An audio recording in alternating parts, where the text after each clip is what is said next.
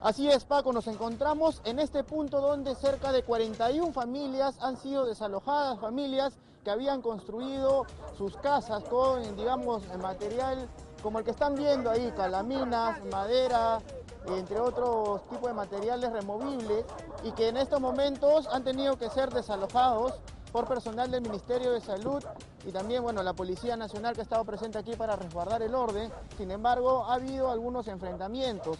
¿Por qué? Porque este terreno que está aquí le pertenece al Ministerio de Salud y a estas personas se les había prometido que iban a estar o que iban a ser ubicados en este espacio, sin embargo es una promesa que nunca se cumplió y que fue de parte del exalcalde Augusto Miyachiro, el exalcalde de Chorrillos.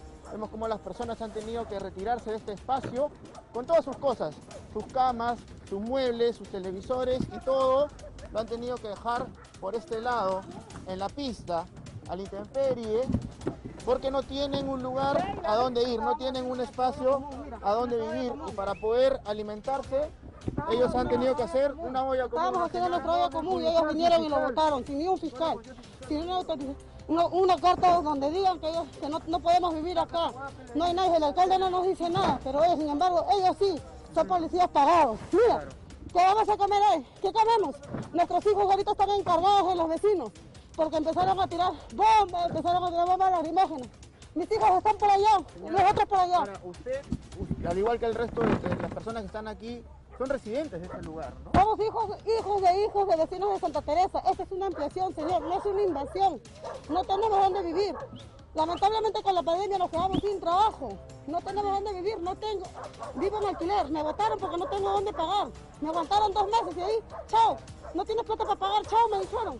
¿A dónde me voy a vivir, señor? señor usted, usted es otro de los afectados y por el momento ustedes no tienen dónde vivir o dónde pasar la noche, ¿no? Buenas tardes. Sí, señor. Eh, yo he venido con mi esposa que está con el bebito ahí porque no tengo una casa donde vivir. Yo, yo soy una familia de 10 hermanos y tengo un cuarto muy pequeño y tengo cuatro hijos, de los cuales no tengo una vivienda. Mi esposa vive acá, es su, su es hija, hija de los hijos de, de acá de Santa Teresa. Lamentablemente usted también ha estado durante este desalojo y ni siquiera han, han respetado que usted tenga beber en brazos.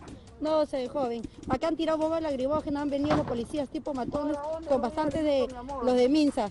¿Cómo es posible que no siquiera han respetado a los niños? Uno está ahí, dicen desarmen, desarmen. ¿Cómo vamos a desarmar? Sí, estamos con todos.